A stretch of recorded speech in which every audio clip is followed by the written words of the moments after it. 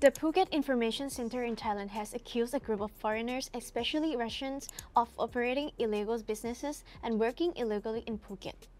The center shared a message on its Facebook page last Sunday that a group of foreigners has started a car rental business which is taking jobs away from Thai people.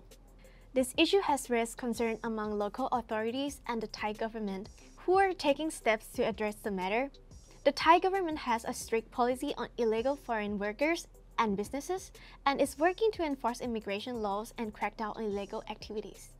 Residents of Phuket have complained that they have seen Russians working as chauffeurs, running car rental services, engineers, and also musicians, and have asked questions if they are working legally in Thailand.